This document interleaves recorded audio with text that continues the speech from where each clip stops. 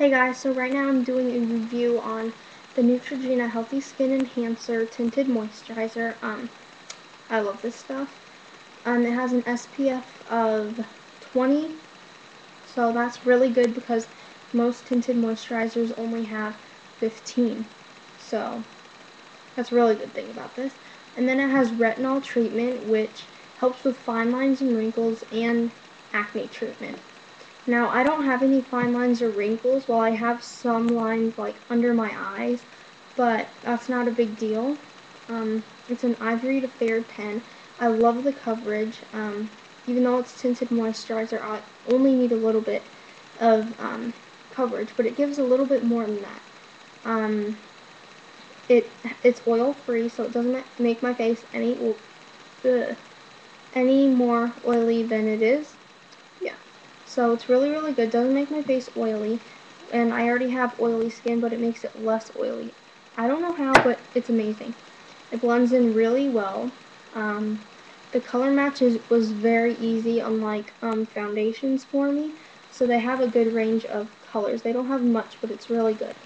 Um, it has a pump. I don't have any bad things to say about this. It is buildable.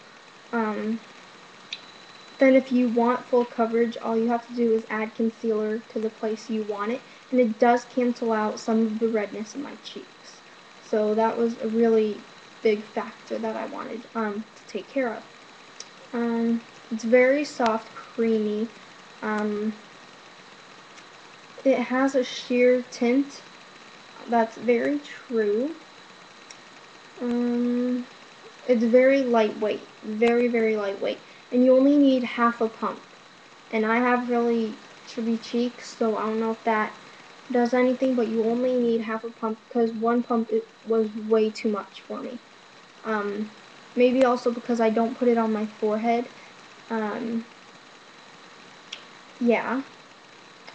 Um, has titanium dioxide, and then the purpose is sunscreen. And then when you're like um, using a product, all you do is push right there and then it goes up. So it's easier to pump out of the bottle. Um, I love it because of the pump. It's really easy and not messy. Mm. And also Neutrogena is a really, really good brand when it comes to skincare um, and acne and stuff like that. So that's the reason why I got it. It's only like 13 bucks at CVS. Um, but yeah, it's really, really good. Blends easy. Um, I use my e.l.f. powder brush for, for this, my from the studio line. Um, so it's really, really good. I have no bad things to say about this. It's perfect for me because I don't need that much coverage. Um, but even if you want a little more coverage than I need, it definitely will work for that because it is blendable. Um, if you have any questions about this, just ask. Um, also, if you want more coverage, you could just add like setting powder to this or powder foundation. So, it's very good for the price. Um, I'm hoping it helps with like my skin too also because most Neutrogena foundations and tinted moisturizers help with that. So yeah, if you have any questions about this product, um, just message me or comment below and I will definitely get back to you. So thanks for watching guys and subscribe.